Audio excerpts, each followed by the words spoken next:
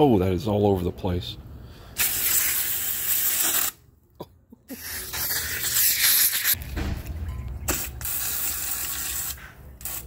All right, guys. This is a uh, AC evaporator flush flusher here.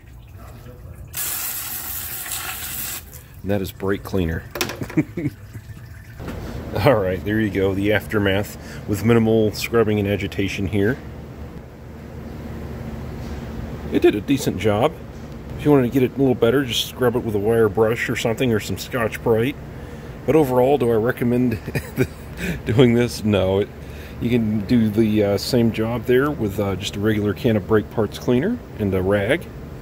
And in this particular situation here, it uh, splattered all over my like my glasses and if you weren't wearing glasses it would go into your eyes the brake cleaner so kind of dangerous there but uh, it was fun to do but yeah with a little bit of patience you can do this without this without this uh, pressure washer thing here and once again it is an evaporator flush device here I'm going to be trying it out on other things as well and yes, it is all over my camera as well, so that's great. Um, I, did, I did get this idea from Rainman Ray on YouTube, so I didn't come up with that myself, but if you uh, want to try something like that out yourself, I got that for 30 bucks on Amazon.